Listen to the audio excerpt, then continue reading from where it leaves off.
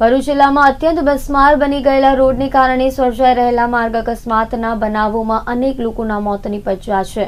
વહીવટી તંત્રોની બેદરકારીને કારણે રોડની મરામત નહીં કરાતા પડેલા ખાડાઓથી જીવલેણ અકસ્માતો બની રહ્યા છે અને હાલમાં જ નંદીલાવ વિસ્તારમાં બનેલા અકસ્માતના બનાવમાં પાંચ વર્ષીય બાળકીનું મોત નિપજ્યું હતું. ભરૂચમાં ખરાબ રસ્તાઓને કારણે થયેલા અકસ્માતમાં જીવ ગુમાવનાર વ્યક્તિઓના પરિવારોને સહાય આપવામાં આવે તેવી માંગણી સાથે લોક અધિકાર મંચના કાર્યકર્તાઓ કલેક્ટર કચેરીએ જઈ વિરોધ પ્રદર્શન કરી મૃતકોને શ્રદ્ધાંજલિ અર્પણ કરી હતી. હું નવફલ પટેલ, સરપંચ દેતરાલ ગ્રામ પંચાયત. આજે અમે જે કલેક્ટરશ્રીને આવેદનપત્ર આપવા આવ્યા છે, એનું મુખ્ય કારણ બે દિવસ પહેલાં બનેલી ઘટના છે, જેમાં અમારી ગામની એક નાનકડી ફૂલ જેવી માસૂમ છોકરીનું મૃત્યુ થયું હતું અકસ્માતમાં, એનું મુખ્ય કારણ હતું કે ખોટ રોડ જે ખારા પડી ગયા છે અને જે રોડ ડેમેજ થઈ ગયા છે, એનું મુખ્ય કારણ હતું. અમારે, અમે આને માટે ટોટલી જિમ્મેદાર ધરાવીએ છીએ વહીવટી તંત્રને, જે વહીવટી તંત્ર દ્વારા આની નિષ્કાળજી લઈ અને કોઈ કામ કરવામાં આવતું નથી. અમારો જે નર્મદા ચોકી છે લઈને દેહ સુધીનો રોડ છે, એ ખૂબ ખરાબ હાલતમાં છે.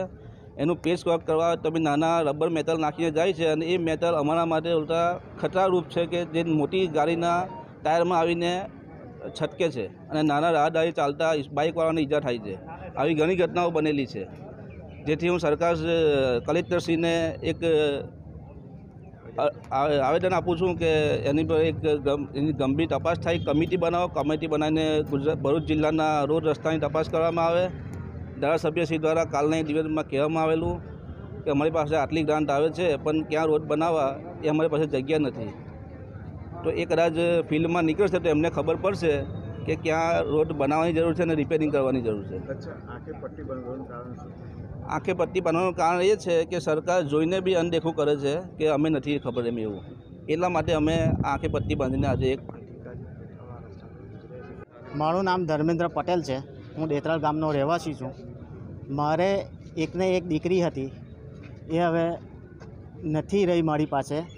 તો હું સરકાર પાસે હું માંગણી કરું છું કે મારે કાયદેસરની જે જવાબદાર હોય જે વ્યક્તિ એની પર કડકમાં કડક કાર્યવાહી થાય અને જે તેનો ગુનો હોય એને જેલ ભેગા કરે, સસ્પેન્ડ કરે અધિકારીઓને, એ જ મારી માંગ છે. જવાબદાર આના પાછળ જવાબદાર હું જે તે સરકારી અધિકારીઓ છે, જેવા કે કલેક્ટર કલેક્ટર સાહેબ, જે એમને ધ્યાન આપવું જોઈએ આ રોડ રસ્તા માટે. એમના કારણે મારી દીકરીની જાન ગઈ છે.